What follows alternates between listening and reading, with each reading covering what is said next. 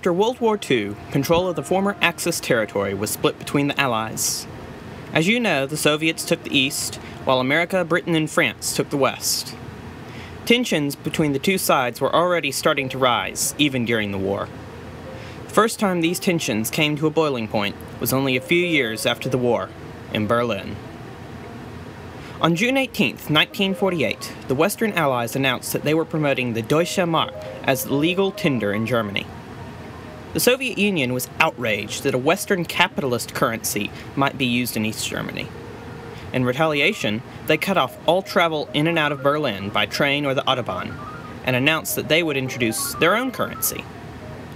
Within a matter of days, the blockade became such a big deal that the Soviet military forces stopped the transport of American military forces. They began a massive anti Western propaganda campaign. By June 24th, any route of travel between West Germany and Berlin was totally cut off. The Western powers reacted with their own blockade. At this point, the Western Allies realized that they had made a serious mistake when negotiating the sectors. They had never established a protected route in and out of Berlin. Furthermore, their armies had been significantly reduced since the war ended, whereas the Soviets maintained their massive army.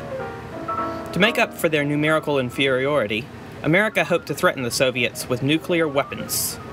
America planned to use hundreds, but in 1948 only owned about 50. The only atomic capable bombers they had were Silverplate B 29 superfortresses, of which only 35 would be available. It seems that the Third World War was imminent. Finally, the Americans came up with a solution. There had been three corridors negotiated for safe air travel to Berlin. If they were to take cargo planes and refuse to back down, the Soviets couldn't claim it as a military threat and had to either let them go or shoot down humanitarian planes. When America talked to Britain to see if they could assist, they discovered that the RAF had already been running a few small airlifts. Two countries worked together to calculate that about 1,500 tons of food and 3,500 tons of fuel were needed each day all the C 47 Skytrains America currently had available would have to run about 100 round trips per day just to get 400 tons delivered. Eventually, between America, Great Britain, and Australia, there were enough planes to attempt to get the job done. On June 24th, 1948, the first American planes delivered relief to Berlin, with British following four days later. First, the planes were averaging around 90 tons a day, but soon got up to a thousand. All the same, this was nowhere near enough supplies to sustain Berlin for very long, and the USAF was inexperienced in airlifts. On August 13th, the weather was terrible, resulting in bad visibility even by radar, and a number of minor crashes on the runway. From this point on, new safety regulations were implemented, in Berlin, civilian volunteers started to make up the bulk of the unloading crew. Some American pilots began tossing chocolate and other candies attached to small parachutes out of their plane to the Berlin children. The Soviets realized that if they didn't react, they may lose the stalemate of the blockade. They began making it impossible for non communist members of the German parliament to make it to sessions. America encouraged the people of Berlin to stand up to this.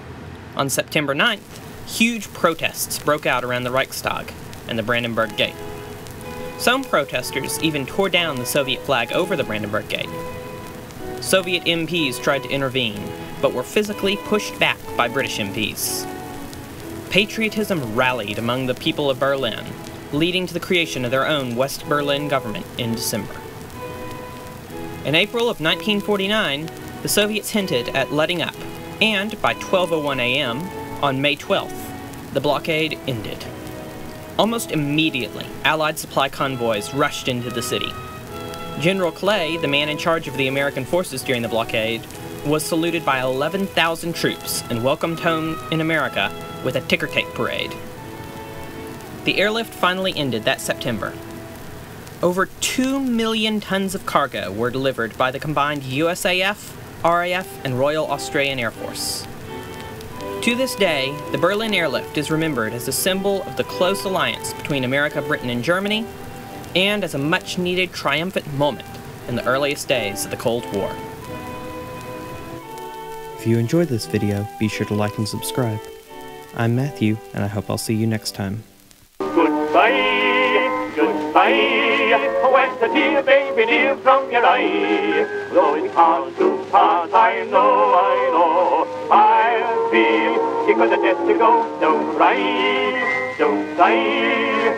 There's a silver lining in the sky. Once Bonsoir, old thing, cheerio, chin chin, na boo toodaloo,